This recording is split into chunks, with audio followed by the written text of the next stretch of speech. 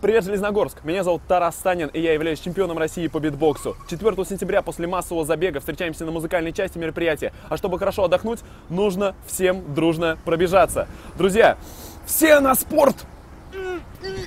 Все на спорт, а? На спорт все быстро, пожалуйста. Проходим